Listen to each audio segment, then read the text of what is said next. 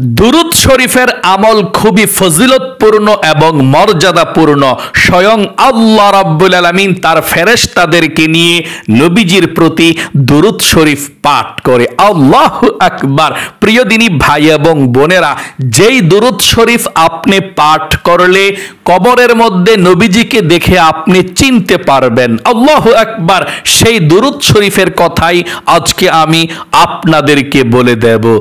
মানে আপনি, আমি সমস্ত মুমিন মুসলমান যখন কবরের মধ্যে চলে যাবে, কবরের মধ্যে যাওয়ার পর আপনাকে আমাকে, নবীজিকে দেখিয়ে আপনাকে আমাকে প্রশ্ন করা হবে, এই ব্যক্তিটাকে। যদি আপনি নবীজির উপরে দুরুদ শরীফ পাঠ করেন, তাহলে আপনি বলতে পারবেন, এটা হচ্ছে আমার নবী, বিশ্ব নবী, আখির নবী মোহাম্মদ সাল্লাহ আলহিসাল্লাম চিনতে পারবেন কবরের মধ্যে আপনি দুরুদ শরীফটা সকাল সন্ধ্যায় পাঠ করলে। আর যদি আপনি দুরুদ শরীফ না পাঠ করেন, নবীজিকে আপনি কবরের মধ্যে দেখে চিনতে পারবেন না। এই জন্যে আপনাকে আমাকে সকাল সন্ধ্যা সেই দরুদ শরীফটা পড়তে হবে। তাহলে আমরা নবীজিকে দেখে কবরের মধ্যে চিনতে পারব। কবর একটি ভয়ঙ্কর জায়গা। নবী করিম সাল্লাল্লাহু আলাইহি সাল্লাম বলেছেন এই কবর থেকে যে ব্যক্তি বাঁচতে পারবে, সে প্রত্যেকটা ঘাটি থেকে বেঁচে যাবে। আর কবর থেকে যে ব্যক্তি বাঁচতে না পারবে, সে কোনো জায়গা থেকে বাঁচতে পারবে না। হাসরের ময়দান, মিজানের পাল্লা, হাউজে কাউসার, কোথাও সে ব্যক্তি বাঁচতে পারবে না। তার স্থান হবে হবে জাহান্নাম। নবীজি বলেছেন অম্মতেরা কবর একটি ভয়ঙ্কর জায়গা। তাহলে প্রিয়দিনী ভাই এবং বোনেরা, সেই ভয়ঙ্কর জায়গাতে কবরের মধ্যে আপনি কোন দুরুদ শরীফটা সকাল সন্ধ্যা কতবার পড়লে আপনি নবীজিকে কবরে দেখে চিনতে পারবেন? সেই দুরুদ শরীফটার কথাও আমি আপনাদেরকে বলে দেব ইনশা আল্লাহ তার পূর্বে চলুন আমরা একটু আল্লাহর কাছে প্রার্থনা করে নেই। আয় আল্লাহ রাব্বুল আলামিন, তোমার নবীজির উসিলা ধরে হযরত আদম সালাম ক্ষমা পেয়েছিল। আয় আল্লাহ, তোমার নবীজির উসিলা ধরে দোয়া করলে দোয়া কবুল হয়। আল্লাহ, তোমার নবীজির উসিলা ধরে দোয়া করছি, আমাদের সকলের জীবনকে তুমি সুন্দর করে দাও। আমাদের সকলের জীবনকে তুমি তোমার পছন্দের মতো যাতে চালাতে পারি, সেই তাওফিকে দান করে দাও। আমাদের পিছনের সমস্ত গোনাগুলো আল্লাহ তোমার নবীর উসিলায় ক্ষমা করে দাও। সকলে কমেন্ট বক্সের মধ্যে লিখবেন, আমিন। কেননা কে জানে কার দোয়া আল্লাহ রাব্বুল আলামিন কবুল করে ফেলে। এবং ভিডিওতে একটি লাইক দিয়ে ভিডিওটা দেখতে থাকুন। প্রিয় দিনী ভাই এবং বোনেরা, কবর একটি ভয়ঙ্কর জায়গা। আপনাকে নবীজিকে দেখে জিজ্ঞেস করা হবে, এই ব্যক্তিটাকে যদি আপনি সকাল সন্ধ্যা নিয়ম মেনে আপনাদেরকে বলে দেব দরুদ শরীফটি পাঠ করতে পারেন, আল্লাহর নবীজিকে কবরের মধ্যে দেখে আপনি চিনতে পারবেন।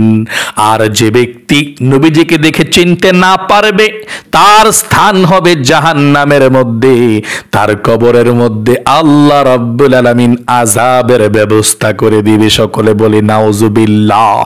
নবীর উপরে দুরুদ পাঠ করলে যে কি লাভ? আল্লাহ আকবার।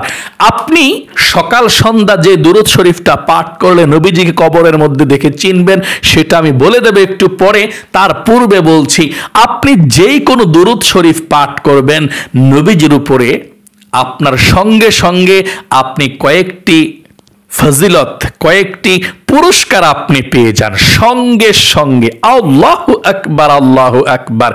আপনি সঙ্গে সঙ্গে তিনটি পুরস্কার সাথে সাথে আপনি পেয়ে যান দুরুদ শরীফ পাঠ করার কারণে। সেটা ছোট দুরুদ শরীফ হোক, বড় দুরুদ শরীফ হোক। ফজিলত কি একবার দুরুদ শরীফ পাঠ করলে?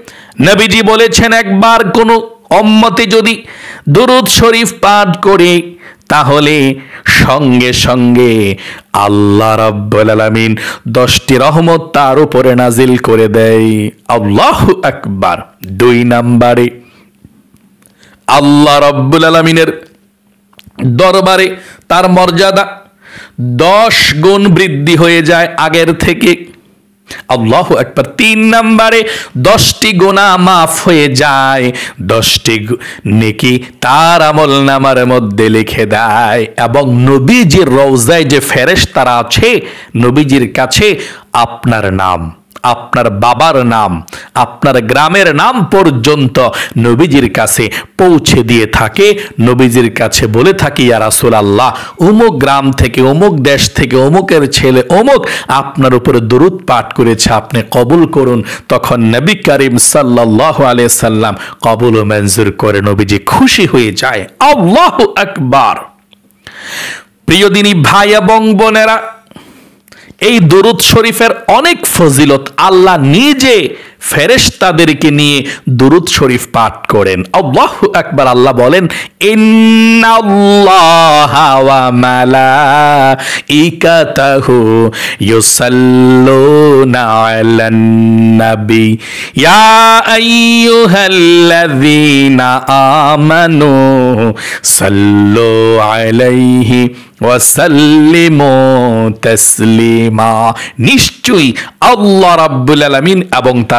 ফেরেশতারা নবী করিম আলাইহি সাল্লামের উপরে দুরুদ এবং সালাম প্রেরণ করে। আল্লাহ আকবার! হে মুমিনরা, তোমরাও নবীজির উপরে দুরূদ পাঠ করো। সকলে বলি সুবহানাল্লাহ। প্রিয় দিনী ভাই এবং বোনেরা, আপনি যত বেশি দরুদ শরীফ পাঠ করবেন, আখেরাতে নবীজির তত কাছাকাছি আপনি থাকবেন। আপনি যদি বেশি বেশি দরুদ শরীফ পাঠ করেন, তাহলে আপনি নবীজির সঙ্গে জান্নাতের মধ্যে যেতে পারবেন। আপনি যদি বেশি বেশি দরুদ শরীফ পাঠ করেন, তাহলে আপনি হাউজে কাউসারের পানি নবী করিম সাল্লাল্লাহু আলাইহি সাল্লাম নিজের হাতে আপনাদেরকে পান করাবে। কবরটা কিন্তু বিশাল ভয়ঙ্কর জায়গা। হজরতে উসমান গনি রাজিয়াল্লাহ তালানহু কবর যখনই দেখতেন, কবরের কথা যখনই শুনতেন, তখনই তিনি কান্না করতেন। সেই কবরের মধ্যে কিন্তু আপনি নবীজিকে যদি দেখে না চিনতে পারেন, আপনার অবস্থা হবে খারাপ। সাহাবাইকার আমরা হজরতে উসমান গনি রাজি আল্লাহ বললেন, ওসমান, আপনি কবর দেখে এত কান্না করেন কেন? জান্নাত জাহান্নাম দেখে তো এত বেশি কান্না করেন না, কি ব্যাপার? কি জন্য এত কান্না করেন? জান্নাত জাহান্নামের বর্ণনা শুনে এত কান্না করেন না আপনি কবরের কথা শুনে এত বেশি কান্না করেন, কবরের পাশ দিয়ে যাওয়ার সময় এত কান্না করেন। নবী করিম সাল্লাল্লাহু সাল্লামের সাহাবী হযরতে উসমান গনি রাদিয়াল্লাহু তালানহ বললেন, ও আমার সঙ্গী সাথী ভাইয়েরা, শুনে রাখো কবর এমন একটি ভয়ঙ্কর জায়গা। নবীজি বলেছেন, মানুষ যখন ইন্তেকাল করে, তার প্রথম ঘাটি হচ্ছে কবর। এই কবরের মধ্যে যে ব্যক্তি নাজাত পেয়ে যায়, কবর থেকে যে ব্যক্তি বেঁচে যায়, সে প্রত্যেকটা ঘাটি থেকে বেঁচে যায়। আর কবর থেকে যে ব্যক্তি বাঁচতে না পারে, প্রত্যেকটা ঘাটিতে সে ব্যক্তি আটকিয়ে যাবে, হাসরের ময়দানে আটকিয়ে যাবে, ফুলসেরাতে আটকিয়ে যাবে, মিজানে আটকিয়ে যাবে, হাউজে কাউসারের পানিও পান করতে পারবে না, তার স্থান হবে জাহান্নাম। এই জন্যে প্রিয় দিনই ভাই এবং বোনেরা, আপনাকে, আমাকে দুরুদ শরীফের আমলের বিকল্প কোনো কিছুই নাই। আপনি বেশি বেশি করে দুরুদ শরীফ পাঠ করতে পারেন। কোন দুরুদ শরীফটা সকাল, সন্ধ্যা আপনি পাঠ করবেন সেটা বলে দেব। তার পূর্বে আমি আপনাদেরকে বলে দিই, আপনারা যারা বড় দুরুদ শরীফ পড়তে পারেন না, এই ছোট্ট ছোট্ট দুরুদ শরীফটি পাঠ করলেও বিশাল সোয়াবের অধিকারী আপনারা হয়ে যাবেন ইনশাল্লাহ যেমন ছোট্ট তিনটি দুরুদ শরীফের কথা আমি আপনাদেরকে বলে দিচ্ছি। এক নম্বরে ছোট্ট সবচেয়ে ছোট একটি দুরুদ শরীফ, সেটা হচ্ছে সাল্লাল্লাহু আলাইহি ওয়াসাল্লাম। এভাবে তাসবিহ নিয়ে নিয়ে আপনি এ দরুদ শরীফটা পড়বেন। ছোট দেখে এমন না যে ফজিলত কম, বিশাল ফজিলত। আপনি দুরুদ শরীফটা তাসবির মধ্যে পড়বেন ইনশাল্লাহ দুরুদ শরীফটা কি? সাল্লাল্লাহু আলাইহি ওয়াসাল্লাম। এই দুরুদ শরীফটা। অর্থ কি?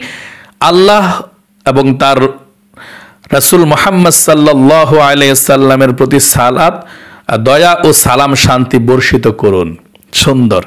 আল্লাহ হজরত মোহাম্মদ সাল্লাহ সাল্লামের উপর তুমি শান্তি এবং সালাম, সালাত বর্ষিত করে সকলে বলি সুবাহান আল্লাহ তাহলে সাল্লাহ আলহিসাল্লাম হচ্ছে সবচেয়ে ছোট দুরুদ শরীফ। কোনটা? সাল্লাহ ওয়াসাল্লাম। তারপরে দুই নাম্বারে ছোট্ট যে দুরুদ শরীফটা, এটাও আপনি পড়তে পারেন। কোনো সমস্যা নেই। ছোট্ট কম না কিন্তু ফজিলত। দুই নাম্বার ছোট্ট দরু শরীফটা আল্লাহ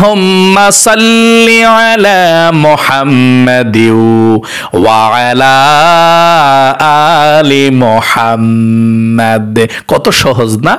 আল্লাহুম্মা সাল্লি আলা মুহাম্মাদিউ ওয়ালা আলি মুহাম্মাদ। অর্থ হচ্ছে, হে আল্লাহ আপনি মোহাম্মদ সাল্লাহ সাল্লাম এবং তার পরিবার পরিজনদের উপর রহমত বর্ষণ করুন। আল্লাহ একবার কত সুন্দর দরুদ শরীফ।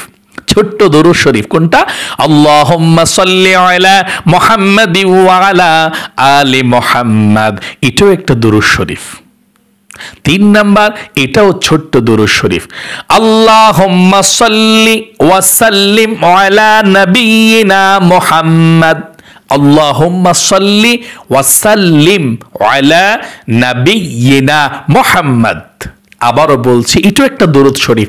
আল্লাহ সাল্লি ওয়াসাল্লিম আলা নাবিয়িনা মুহাম্মদ।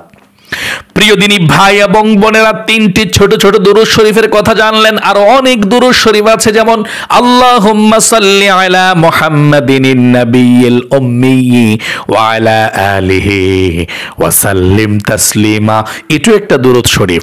শুক্রবারে আসরের নামাজের পরে আশি বার পড়লে আশি বৎসরের গুণা আল্লাহ ক্ষমা করে দেয়। আশি বৎসরের নেকি আল্লাহ তালা আমল নামার মধ্যে লিখে দেয়। আল্লাহ একবার চলুন তাহলে আমি এক্ষুনি আপনাদেরকে বলে দিচ্ছি, কোন দুরুদ শরীফটা আপনারা সকাল, সন্ধ্যা বা কোন সময় পড়লে নবীজিকে আপনি কবরের মধ্যে দেখে চিনতে পারবেন, এক্ষুনি আপনাদেরকে বলে দিচ্ছি।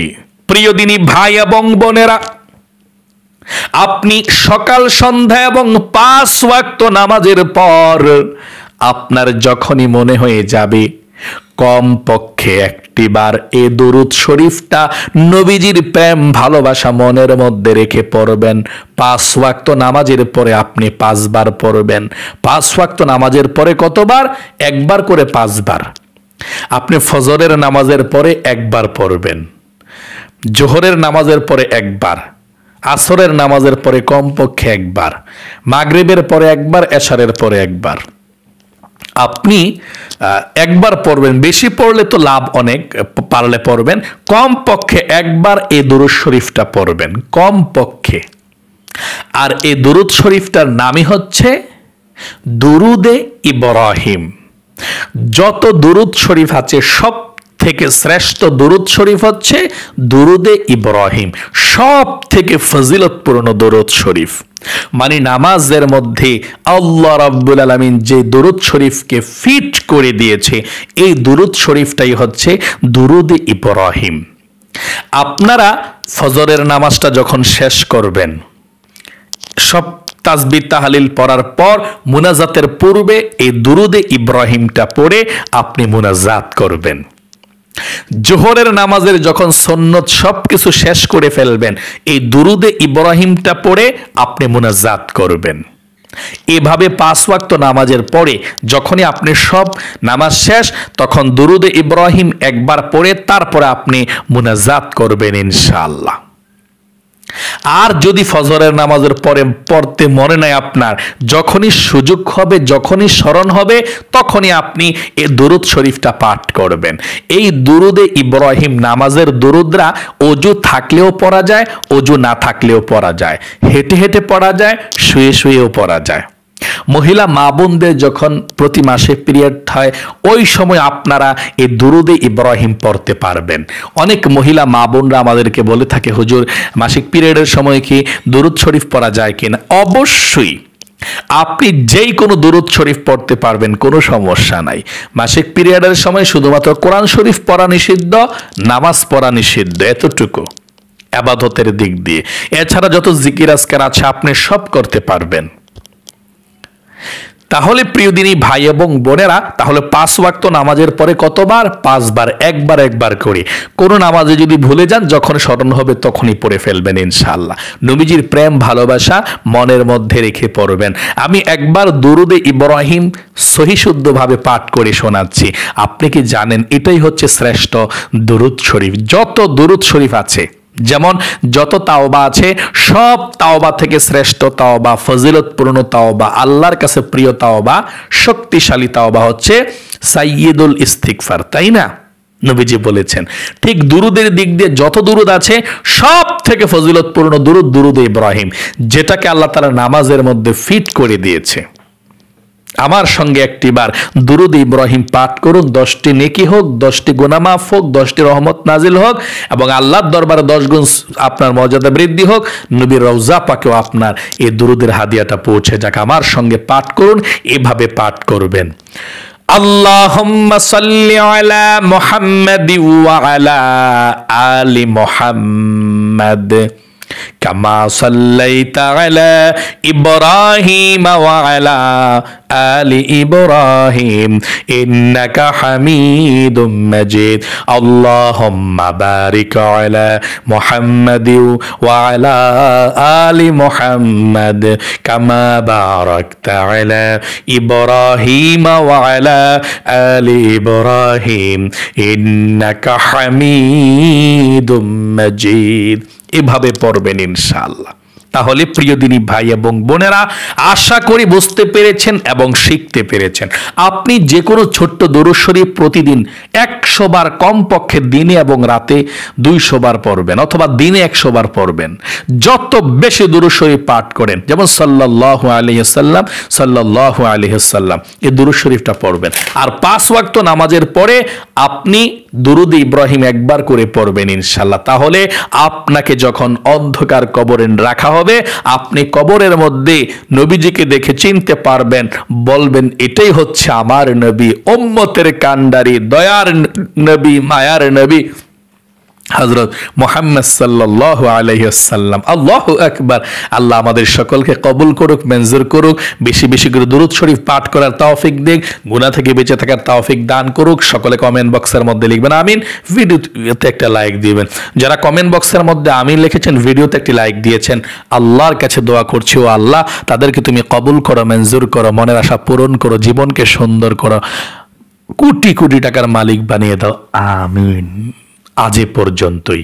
আবারও অন্য কোনো ভিডিওতে দেখা হবে ইনশাআল্লাহ। সেই পর্যন্ত আপনাদের সকলের সুস্বাস্থ্য, আল্লাহর কাছে কামনা করে আজ এখানে বিদায় নিচ্ছি। আসসালামু আলাইকুম আ রহমতুল্লাহি